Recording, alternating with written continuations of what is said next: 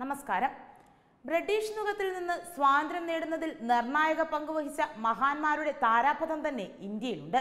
എന്നാൽ ആയിരത്തി തൊള്ളായിരത്തി നാൽപ്പത്തി അഞ്ചിനും ആയിരത്തി തൊള്ളായിരത്തി അൻപതിനുമിടയിൽ സ്വാതന്ത്ര്യത്തിന് മുൻപുള്ളതും സ്വാതന്ത്ര്യ അനന്തരവുമായ സാഹചര്യം പഠിക്കുകയും നിർണായക ഘട്ടത്തെയും നിർണായകമായ തീരുമാനങ്ങളെയും കുറിച്ച് പഠിക്കുകയും ചെയ്താൽ ആ താരാപഥത്തിലെ തിളക്കങ്ങൾക്കിടയിൽ ഉയരത്തിൽ നിൽക്കുന്നത് ഗാന്ധിയോ നെഹ്റുവോ അല്ലെങ്കിൽ മറ്റേതെങ്കിലും നേതാവോ അല്ലെന്നും ഉരുക്കു മനുഷ്യൻ എന്നറിയപ്പെടുന്ന സർദാർ വല്ലഭായ് പട്ടേലാണെന്നും അംഗീകരിക്കേണ്ടി വരും. നാട്ടുരാജ്യങ്ങളെ ഇന്ത്യൻ യൂണിയനിലേക്ക് ലയിപ്പിക്കുന്നതിന് ദേശസ്നേഹം ഭീഷണി സൈനിക നടപടി ജീവിത ചെലവിനുള്ള വാർഷിക ഗ്രാൻഡായ പ്രിവി പേഴ്സ് നൽകുന്ന ഓഫർ കൊട്ടാരങ്ങൾ വിട്ടു നൽകൽ പദവികൾ അനുവദിക്കൽ ഇങ്ങനെ തന്ത്രങ്ങളും കുതന്ത്രങ്ങളും ചേർന്നുള്ള നയപരിപാടികൾ ആസൂത്രണം ചെയ്യുകയും വിജയം കൈവരിക്കുവാനും പട്ടേലിനും അദ്ദേഹത്തിന്റെ ടീമിനും അന്ന് സാധിച്ചു. ആയിരത്തി തൊള്ളായിരത്തി നാൽപ്പത്തി ഏഴിൽ സ്വാതന്ത്ര്യം ലഭിച്ച് ഏകദാണ്ട് പത്ത് കോടിയോളം ജനസംഖ്യ വരുന്ന അഞ്ഞൂറ്റി അറുപത്തിയെട്ടോളം രാജ്യങ്ങൾക്കും മുപ്പത് കോടി ജനസംഖ്യ വരുന്ന ബ്രിട്ടീഷ് ഇന്ത്യക്കുമാണ് ഭൂപ്രദേശത്തിന്റെ കണക്ക് നോക്കിയാൽ നാട്ടുരാജ്യങ്ങൾ നാൽപ്പത് ശതമാനത്തോളം വരും. ഈ നാട്ടുരാജ്യങ്ങളിലെ ഭരണാധികാരികൾക്ക് അവരുടെ ഇഷ്ടപ്രകാരം വേറിട്ട് നിൽക്കുവാനോ അല്ലെങ്കിൽ ഇന്ത്യയിലോ പാകിസ്ഥാനിലോ ലയിക്കാനോ ഉള്ള സ്വാതന്ത്ര്യം ഉണ്ടായിരുന്നു. ഇത്തരമൊരു തീരുമാനത്തിൽ പാകിസ്ഥാന്റെ രാഷ്ട്രപിതാവ് മുഹമ്മദ് അലി ജിന്ന അതീവ സന്തുഷ്ടനായിരുന്നു. ബ്രിട്ടീഷ് ഇന്ത്യയുടെ നല്ലൊരു ഭാഗവും പാകിസ്ഥാനായി മാറുകയും ചെയ്തു. കൂടാതെ നിരവധി നാട്ടുരാജ്യങ്ങൾ പാകിസ്ഥാനിലേക്ക് ലയിപ്പിക്കുവാൻ സാധിക്കുമെന്നും ജിന്ന കരുതി. എന്നാൽ പട്ടേലിന്റെ കർമ്മകുശലത ജിന്നയുടെ മോഹങ്ങളെ തല്ലിക്കെടുത്തി. പതിനാല് നാട്ടുരാജ്യങ്ങൾ മാത്രമാണ് പാകിസ്ഥാനിൽ ലയിച്ചത്. അത് നാട്ടുരാജ്യങ്ങളിലെ ഭൂപ്രദേശത്തിന്റെ വെറും രണ്ടേ ദശാംശം അഞ്ച് ശതമാനം മാത്രമായിരുന്നു. നാട്ടുരാജാക്കന്മാർ ആവശ്യപ്പെടുന്ന തുക പ്രിവി പേഴ്സായി അനുവദിക്കുകയല്ല പട്ടേൽ ചെയ്തത്. പട്ടേൽ മനസ്സിൽ കണക്ക് കൂട്ടിയ തുകയിലേക്ക് രാജാക്കന്മാരെ ചെന്നെത്തിക്കുകയായിരുന്നു. സംയോജനത്തിന് മുമ്പ് നാട്ടുരാജ്യങ്ങൾക്ക് നൽകിയ പ്രിവി പേഴ്സിന്റെ ആകെ തുക ആയിരത്തി തൊള്ളായിരത്തി നാൽപ്പതുകളിലെ മൂല്യങ്ങളിൽ ഇരുപത് കോടി രൂപയായിരുന്നുവെങ്കിൽ സംയോജനത്തിന് ശേഷം പ്രിവി പേഴ്സിനായി സംസ്ഥാന മന്ത്രാലയം അനുവദിച്ച മൊത്തം ചെലവ് അഞ്ച് ദശാംശം എട്ട് കോടി രൂപ മാത്രമായിരുന്നു. പത്ത് ലക്ഷത്തിൽ കൂടുതൽ പ്രിവി പേഴ്സ് അനുവദിക്കപ്പെട്ട പതിനൊന്ന് നാട്ടുരാജാക്കന്മാർ മാത്രമേ ഉണ്ടായിരുന്നുള്ളൂ. ഒരു ലക്ഷത്തിനും പത്ത് ലക്ഷത്തിനും ഇടയിൽ പ്രിവി പേഴ്സ് അനുവദിക്കപ്പെട്ട തൊണ്ണൂറ്റി ഒന്ന് ഭരണാധികാരികളും ഒരു ലക്ഷത്തിനും അൻപതിനായിരത്തിനും മധ്യേ പ്രിവി പേഴ്സ് ലഭിച്ച അൻപത്തി ആറ് ഭരണാധികാരികളും ഉണ്ടായിരുന്നു. ബാക്കിയുള്ള മുന്നൂറ്റി തൊണ്ണൂറ്റി ആറ് നാട്ടുരാജാക്കന്മാർക്ക് അൻപതിനായിരത്തിന് ചുവടെയുമായിരുന്നു പ്രിവ്യൂ പേഴ്സ് നൽകിയിരുന്നത്. ഈ ചെലവിനെ അപേക്ഷിച്ച് നാട്ടുരാജ്യങ്ങൾ ഏറ്റെടുക്കുമ്പോൾ ഇന്ത്യക്കുണ്ടായ നേട്ടങ്ങൾ അനവധിയായിരുന്നു. ക്യാഷ് ബാലൻസും നിക്ഷേപവുമായി എഴുപത്തിയേഴ് കോടിയിലധികം ലഭിച്ചു. അഞ്ഞൂറിലധികം ഗ്രാമങ്ങളും ആയിരക്കണക്കിന് ഏക്കർ സ്ഥലവും രാജാക്കന്മാരുടെ കൊട്ടാരങ്ങളും മ്യൂസിയങ്ങളും കെട്ടിടങ്ങളും ലഭിച്ചു. ഉദാഹരണത്തിന് ഒന്നേ ദശാംശം രണ്ടേ നാല് കോടി രൂപയുടെ റവന്യൂ വരുമാനമുണ്ടായിരുന്ന നൈസാം ചക്രവർത്തിയുടെ സ്വകാര്യ എസ്റ്റേറ്റ് ഇന്ത്യൻ യൂണിയന് ലഭിക്കുകയുണ്ടായി. മാത്രമല്ല നൈസാം ഇന്ത്യൻ സർക്കാരിന്റെ സെക്യൂരിറ്റികളിലും ഷെയറുകളിലുമായി നാൽപ്പത് കോടിയിലധികം നിക്ഷേപിക്കുകയും തുങ്കഭദ്ര പദ്ധതിക്ക് അൻപത് ലക്ഷം രൂപ വായ്പയും നൽകി. യാതൊരുവിധ നഷ്ടപരിഹാരവും നൽകാതെയാണ് ഹൈദരാബാദ് രാജ്യത്തെ പന്ത്രണ്ടായിരം മൈൽ റെയിൽവേ ഇന്ത്യൻ യൂണിയൻ സ്വന്തമാക്കിയത്. വിഭജന ഫലമായി എൺപത്തി ഒന്നേ ദശാംശം അഞ്ച് ദശലക്ഷം ജനസംഖ്യയുള്ള മൂന്ന് ദശാംശം ആറ് ലക്ഷം ചതുരശ്ര മൈൽ പ്രദേശം ഇന്ത്യയ്ക്ക് നഷ്ടമായെങ്കിൽ നാട്ടുരാജ്യങ്ങളുടെ സംയോജനത്തിലൂടെ എൺപത്തി ആറ് ദശാംശം അഞ്ച് ദശലക്ഷം ജനസംഖ്യയുള്ള അഞ്ച് ലക്ഷം ചതുരശ്ര മൈൽ പ്രദേശമാണ് ഇന്ത്യയ്ക്ക് ലഭിച്ചത്. എന്നാൽ ഇന്ത്യൻ സംയോജനത്തിൽ പട്ടേൽ കൈകാര്യം ചെയ്ത വിഷയങ്ങളെല്ലാം സുഗമമായി അവസാനിച്ചെങ്കിലും നെഹ്റു ഇടപെട്ട കാശ്മീർ സംയോജന വിഷയം ഇന്ത്യയ്ക്ക് കീറാമുട്ടിയായി പരിണമിക്കുകയായിരുന്നു ഉണ്ടായിരുന്നത്. അതുപോലെ ചൈന വിഷയത്തിലും പട്ടേൽ നൽകിയ മുന്നറിയിപ്പ് നെഹ്റു അവഗണിച്ചു. കമ്മ്യൂണിസ്റ്റുകൾ ഭരിക്കുന്ന ചൈനയെ ഒരിക്കലും വിശ്വസിക്കരുതെന്നും അവർ ഭാവിയിൽ ഇന്ത്യയ്ക്ക് ഭീഷണിയാണെന്നും പട്ടേൽ നെഹ്റുവിനെ ഓർമ്മിപ്പിച്ചു. ചൈന വിഷയത്തിൽ പട്ടേൽ നെഹ്റുവിന് അയച്ച കത്തും നമുക്ക് അറിയാവുന്നതാണ്. സമാനതകളില്ലാത്ത ദീർഘവീക്ഷണവും ഇന്ത്യയുടെ ഭാവി എവിടെയാണെന്ന് വ്യക്തമായ കാഴ്ചപ്പാടും കൊണ്ട് അനുഗ്രഹിക്കപ്പെട്ട ഒരു പ്രധാന രാഷ്ട്രതന്ത്രജ്ഞനായിരുന്നു സർദാർ പട്ടേൽ. സ്വാതന്ത്ര്യാനന്തരം ഒരു ഏകീകൃത ഇന്ത്യ എന്ന ആശയം സഫലമാക്കി ആധുനിക ഇന്ത്യയുടെ അടിത്തറയിടുന്നതിൽ പട്ടേൽ നൽകിയ സംഭാവന സമാനതകളില്ലാത്തതാണ്. അദ്ദേഹത്തിന്റെ വിശിഷ്ട ജീവിതത്തിന്റെ സിംഹഭാഗവും രാജ്യസ്വാതന്ത്ര്യത്തിനായുള്ള പോരാട്ടത്തിനായി നീക്കിവെച്ചിരുന്നു.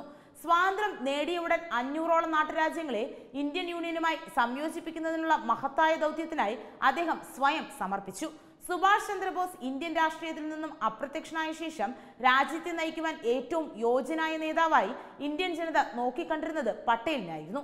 പട്ടേലിന് ലഭിക്കുമായിരുന്ന പ്രധാനമന്ത്രി പദം ഇല്ലാതാക്കിയ ചരിത്രം കൂടി ഇതോടൊപ്പം സൂചിപ്പിച്ചാലേ പട്ടേൽ എന്ന നക്ഷത്രത്തിന്റെ ശോഭ നമുക്ക് മനസ്സിലാവുകയുള്ളൂ.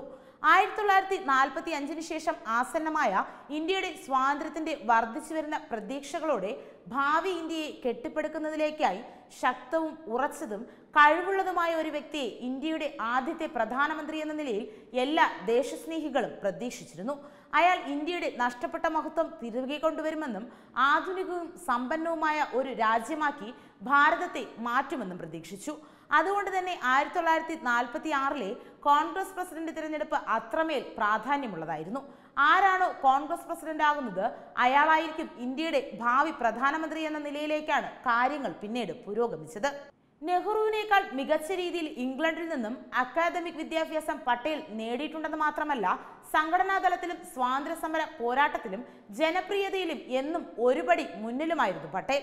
ആയിരത്തി തൊള്ളായിരത്തി ഇരുപത്തി മൂന്നിലെ നാഗ്പൂർ സത്യാഗ്രഹം ബോർസാദ് സത്യാഗ്രഹം ആയിരത്തി തൊള്ളായിരത്തി ഇരുപത്തിനാല് ഇരുപത്തിയേഴുകളിലെ അഹമ്മദാബാദ് മുനിസിപ്പാലിറ്റിയിലെ മികച്ച ഭരണം ആയിരത്തി തൊള്ളായിരത്തി ഇരുപത്തിയേഴിലെ അഹമ്മദാബാദ് വെള്ളപ്പൊക്കം കൈകാര്യം ചെയ്തത് ആയിരത്തി തൊള്ളായിരത്തി ഇരുപത്തിയെട്ടിലെ ബർദോളി സത്യാഗ്രഹം ആയിരത്തി തൊള്ളായിരത്തി മുപ്പത്തിനാല് മുപ്പത്തിയേഴുകളിലെ അഖിലേന്ത്യാ തെരഞ്ഞെടുപ്പുകളിൽ പാർട്ടിയെ നയിച്ചതും തുടങ്ങിയവ സംഘാടകൻ മികച്ച ഭരണകർത്താവ് എന്നീ നിലകളിൽ പട്ടേൽ ആയിരത്തി തൊള്ളായിരത്തി നാൽപ്പത്തി അഞ്ചാകുമ്പോഴേക്കും കോൺഗ്രസിന്റെയും രാജ്യത്തിന്റെയും അനിശ്ചിത നേതാവായി മാറിയിരുന്നു. പ്രധാനമന്ത്രി പദത്തിന് പട്ടികയിലല്ലാതെ മറ്റൊരാളെക്കുറിച്ച് രാജ്യത്തിന് ചിന്തിക്കാനാകുമായിരുന്നില്ല. അന്ന് നിലവിലുണ്ടായിരുന്ന പതിനഞ്ച് പ്രവിശ്യ കോൺഗ്രസ് കമ്മിറ്റിയിൽ പന്ത്രണ്ടും പട്ടേലിന്റെ പേരാണ് പ്രധാനമന്ത്രി പദത്തിലേക്ക് നിർദ്ദേശിച്ചത്. മൂന്ന് പ്രവിശ്യ കമ്മിറ്റികൾ ആരുടെയും പേര് നിർദ്ദേശിച്ചുമില്ല സ്വാഭാവികമായും പട്ടേൽ അല്ലാതെ മറ്റൊരു ചോയ്സ് അന്ന് പാർട്ടിക്കുണ്ടായിരുന്നില്ല. എന്നിട്ടും രാജ്യ താല്പര്യത്തിനും പാർട്ടി താല്പര്യത്തിനും വിരുദ്ധമായി ഗാന്ധി പട്ടേലിനോട് മാറി നിൽക്കുവാനും പകരം നെഹ്റുവിന്റെ പേര് നിർദ്ദേശിക്കുകയും ചെയ്തു. രാജ്യത്തെ ഒരു പ്രവിശ്യ കോൺഗ്രസ് കമ്മിറ്റിയും നെഹ്റുവിന്റെ പേര് നിർദ്ദേശിച്ചില്ല എന്നതും നാം ഓർക്കേണ്ടതാണ്. ആയിരത്തി തൊള്ളായിരത്തി മുപ്പത്തിനാലിൽ കോൺഗ്രസിൽ നിന്നും രാജിവെക്കുകയും പിന്നീട് ഒരിക്കൽ പോലും കോൺഗ്രസിന്റെ സെൻട്രൽ വർക്കിംഗ് കമ്മിറ്റിയിൽ പങ്കെടുത്തിട്ട് പോലുമില്ലാത്ത ഗാന്ധി നെഹ്റുവിന്റെ പേര് നിർദ്ദേശിക്കുക വഴി പാർട്ടിയെ തന്നെ ഹൈജാക്ക് ചെയ്ത് ജനകീയ അഭിലാഷത്തെ അട്ടിമറിക്കുകയാണ് ഉണ്ടായത്. നിഴൽ പോലെ കൂടെ നിന്നിരുന്ന പട്ടേലിനോട് ഗാന്ധി മുൻപും ഇത്തരത്തിൽ അനീതി ചെയ്തിട്ടുണ്ടെന്ന് ചരിത്രത്തിൽ നോക്കിയാൽ നമുക്ക് കാണാവുന്നതാണ്. അത് എല്ലായ്പ്പോഴും നെഹ്റുവിന് വേണ്ടിയായിരുന്നു. ആയിരത്തി തൊള്ളായിരത്തി ഇരുപത്തി ഒൻപതിലും ആയിരത്തി തൊള്ളായിരത്തി മുപ്പത്തിയാറിലും നെഹ്റുവിന് വേണ്ടി ഗാന്ധി പട്ടേലിനെ തഴഞ്ഞിരുന്നു. ആയിരത്തി തൊള്ളായിരത്തി ഇരുപത്തിയെട്ടിലെ ബർദോളി സത്യാഗ്രഹത്തെ തുടർന്ന് സർദാർ എന്ന പേരിൽ രാജ്യം മുഴുവൻ കീർത്തി കൊണ്ട പട്ടേൽ തൊട്ടടുത്ത വർഷം അതായത് ആയിരത്തി തൊള്ളായിരത്തി ഇരുപത്തി ഒൻപതിൽ കോൺഗ്രസ് പ്രസിഡന്റായി തിരഞ്ഞെടുക്കപ്പെടാനുള്ള എല്ലാ സാധ്യതയും തെളിഞ്ഞു വരുമ്പോഴാണ് നെഹ്റുവിനെ പ്രസിഡന്റാക്കുവാൻ ശുപാർശ ചെയ്തുകൊണ്ട് മോത്തിലാൽ നെഹ്റു ഗാന്ധിജിക്ക് കത്തയക്കുന്നത്.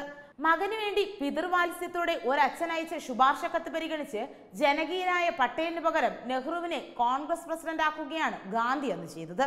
ആയിരത്തി തൊള്ളായിരത്തി മുപ്പത്തി ആറിലും ഏറ്റവും കൂടുതൽ പ്രവിശ്യ കോൺഗ്രസ് കമ്മിറ്റികൾ പ്രസിഡന്റ് സ്ഥാനത്തേക്ക് പട്ടേലിന്റെ പേരായിരുന്നു നിർദ്ദേശിച്ചിരുന്നത്.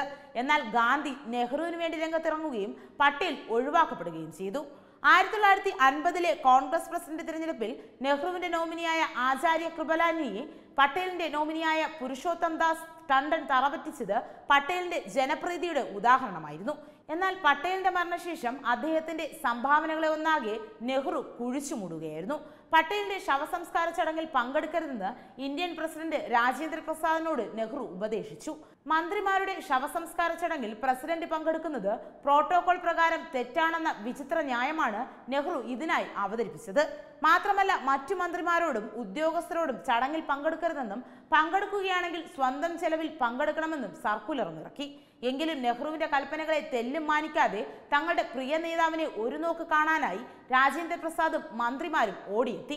വി പി മേനോൻ തന്റെ സ്വന്തം ചെലവിൽ പണം മുടക്കി ഉദ്യോഗസ്ഥരെ ശവസംസ്കാര ചടങ്ങിനയച്ചു പട്ടേലിന്റെ മരണശേഷം കോൺഗ്രസ് പൂർണമായും നെഹ്റുവിന് കീഴടങ്ങുകയായിരുന്നു.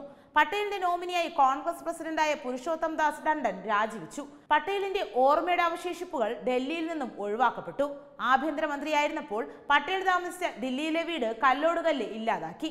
രണ്ടായിരത്തി പതിനാലിൽ നരേന്ദ്രമോദി അധികാരത്തിൽ വരുന്നതുവരെ പട്ടേലിന്റെ പേരിൽ ഒരു സ്മാരകമോ റോഡോ പോലും ദില്ലിയിലില്ലായിരുന്നു.